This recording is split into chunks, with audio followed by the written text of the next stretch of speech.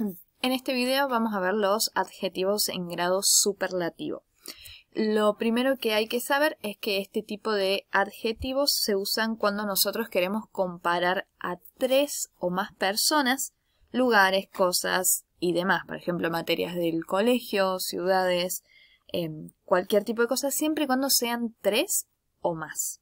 Por ejemplo, en esta imagen, si yo quiero comparar a este perro con el resto de los perros, voy a usar el adjetivo en grado superlativo. Si quiero comparar una de las personas con el resto del grupo, voy a hacerlo. Y si yo quiero decir, por ejemplo, que el Fideo Di María es más alto eh, de los jugadores de fútbol de la selección, voy a usar adjetivos en grado superlativo. Vamos a tener los dos tipos de adjetivos cortos y largos. Vamos a arrancar con los adjetivos cortos. Cuando tenemos un adjetivo corto, lo que vamos a hacer es agregar EST después del adjetivo. EST significa más. Entonces, si yo digo, por ejemplo, biggest, voy a estar diciendo más grande. Small, que es un adjetivo corto, va a convertirse en smallest y ese EST va a significar más chico. Safe, lo mismo. Como ya termina en E, le agregamos solamente la ST. Y lo mismo va a pasar con el resto de los ejemplos. Entonces, adjetivos cortos van a agregar EST después del adjetivo. Es súper importante que antes de escribir el adjetivo en grado superlativo, escribamos la palabra de, que significa el, la, los, las o lo. ¿Por qué? Porque si yo voy a decir que Di María es el más alto, yo voy a necesitar esa palabra por escrito. Entonces, the biggest va a ser el, la más grande. The tallest va a ser el o la más grande o los más grandes o las más grandes.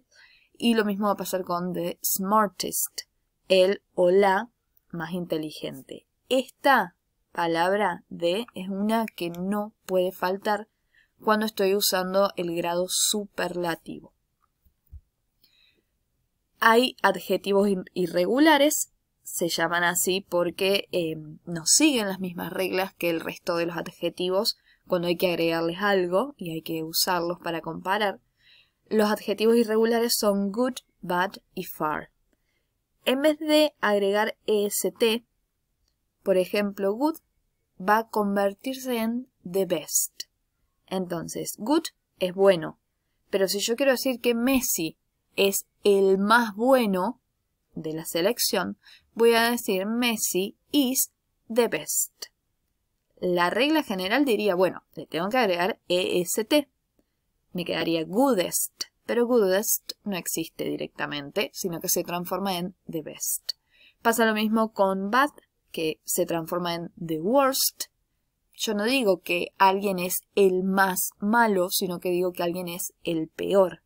Y lo mismo pasa con far, solamente acá es bastante parecida, sigue la, la regla del agregar est, pero la diferencia es que agrega la th antes. Esos son los tres adjetivos irregulares.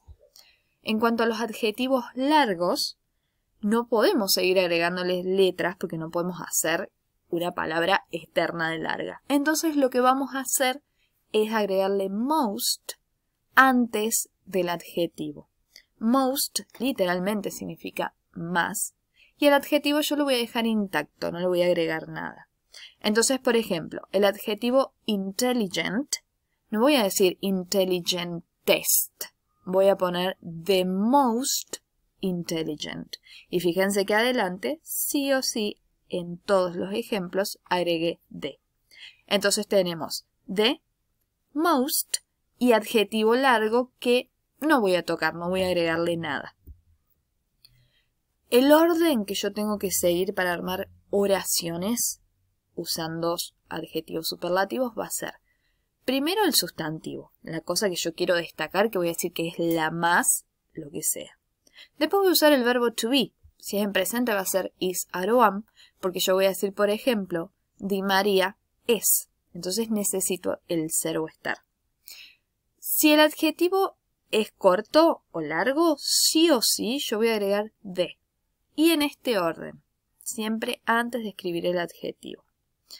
Cuando es corto, voy a escribir el adjetivo agregándole est, pero cuando es largo voy a escribir primero most y después el adjetivo sin cambiarlo, sin agregarle nada. Y al último, lo que voy a hacer, esto a veces es opcional, eh, podemos terminar la oración ahí.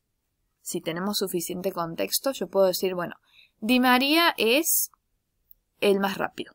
O puedo decir, Messi es el mejor. Punto. Terminé en el adjetivo, no necesito más.